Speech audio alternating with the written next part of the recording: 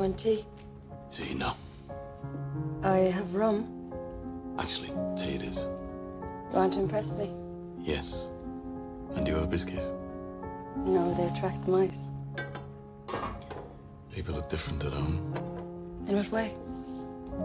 Off guard. Should I be on my guard? No. I'm a man who drinks tea. You have a gramophone. It's broken. I could still dance.